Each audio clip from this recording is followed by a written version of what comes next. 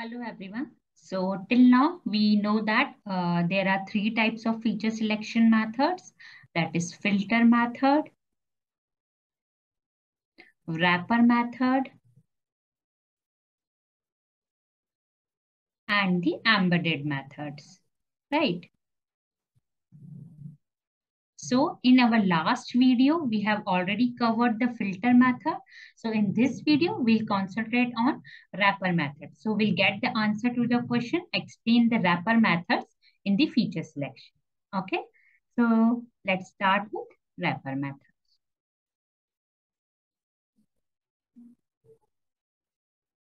Okay. So wrapper methods again basically of three types. First is forward selection forward select forward feature selection. Second is backward elimination method.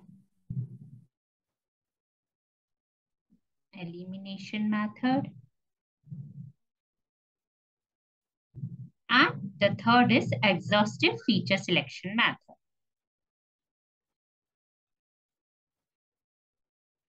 Exhaustive feature selection method. So let's start with the first technique that is forward selection method.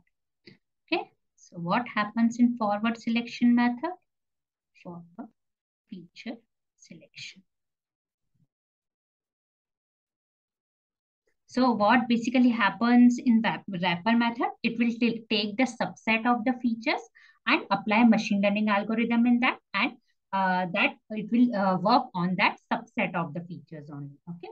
So in forward feature selection, let's assume that our data has uh, four types of features, F1, F2, F3 and F4 and our target variable is Y. Okay. So it will take the uh, several subset of the features. Okay. So let's understand how it will select this uh, subset so it will take various uh, iterations to find out the uh, features. Okay, so in the first iteration, in the first iteration, what it will do, it will select single, single features. So let's assume it select one features, F1, apply model in that, okay, and evaluate it. On the basis of evaluation, it found some evaluation score, okay. Then it select the second feature, F2, and apply model again and uh, evaluate it and find the score. So like that, it will take all the single, single features. Okay, apply model in that and find out the score. Okay. Then let's assume that F3 performs better. Okay, the score for F3 is good among all these things. Okay, so in second iteration, what it will do? Second iteration, what it will do? It will take F3 and with F3, it will combine uh, one more feature. For example, with F3, it combines F1 and apply the model and find the score.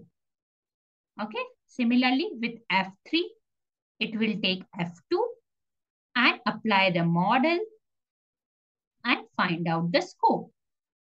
Okay. Similarly, with F3, it will apply F4 and apply the model and find out the score. So, for example, this combination of features performed better. Okay. So, in third iteration, what it will do? In third iteration, it will take this combination first and will try with F1 and with the same combination, it will try F4, apply it on model and find out the score. So like that, in each and every step, what it is doing, it is adding single, single features. Okay. So for example, this particular combination of features perform best.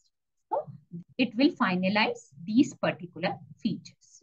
Okay. So these are the set of the features selected by your forward feature selection method. Okay. So this process is continued until we get the desired number of features.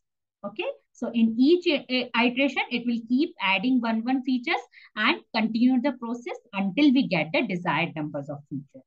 Okay. So we have to uh, finalize how many features you want. So it will continue the process up to that number of features. Okay.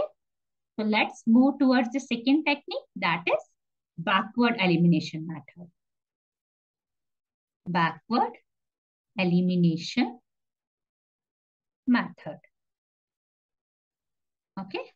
So in backward elimination, it is exact opposite of uh, the forward uh, forward feature selection. Exact opposite of forward feature selection technique. Okay. So like in forward feature selection, what we were doing, we took the uh, one feature and we started adding one one feature. But in backward elimination, it will take the group of group of all the features. So for example, we have F1, F2, F3, F4 and F5 and we have one target variable Y. Okay. So what it will do, it will uh, it will not take single feature. For example, it will take for first in first iteration what it will take it will take f2 f3 f4 f5 and y and apply the model find out the score okay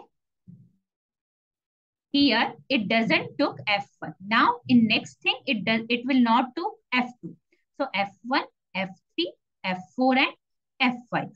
So based on this, it will apply the model and find out the evaluation score. Okay. So in next, what it will do, it will not take F3 and take F1, F2, F4, F5 and 1. Okay. Apply the model, find out the score. So like this, it will, it will take all the features, only one feature it will not take. Okay. So for example, in this uh, particular iteration, this uh, set of features perform the best. So it will move ahead with this set of features for the second iteration. So in second iteration, what it will do? It will start with this particular feature. So for, uh, for now, we have F1, F2, F4 and F5. Okay. So it will not take F1. It will, it will take F2, F4, F5 and Y and it will perform the find out the score. Again, it will not take here F2. It will take F1, F4, F5, Y. Apply on the model, find out the score.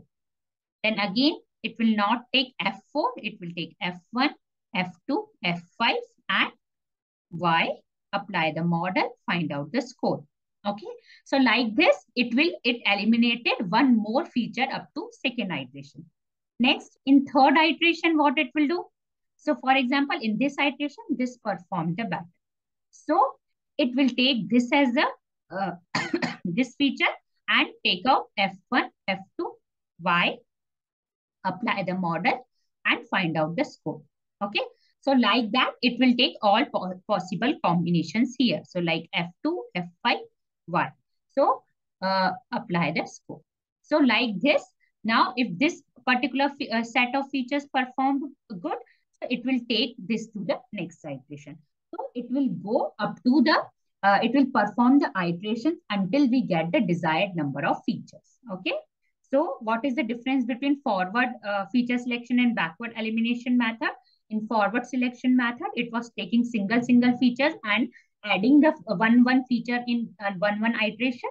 While in backward elimination uh, method it took set of the features and it is removing one one feature in each each iteration. Okay based on the score obtained. Okay so let's come to the third method that is exhaustive feature selection technique So what happens in exhaustive feature selection technique? It uses basically greedy search algorithm. Okay. Greedy search algorithm. Okay. So in greedy search algorithm, what will happen? It will use all the possible uh, combination of the feature. It will use all the possible combination. All the possible combination of features. Okay, so it will start with, for example, F1, it apply the model, find the score. F2, apply on model, find the score. Then it will take two features, F1 and F2. Then it will take F1, F2, F3, three features, set of combinations. Then F2, F3, F4. Then four features, F1, F2, F3, F4. So it will take basically all the uh, combination of the features and find out in which combination the score is more. But what the disadvantage of this, uh, this method?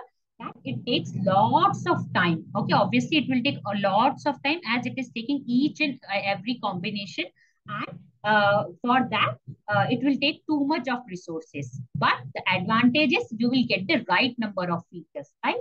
So in this, we have to, uh, uh, we what inputs we have to give? We have to give number minimum number of features, minimum number of features, and the maximum number of features.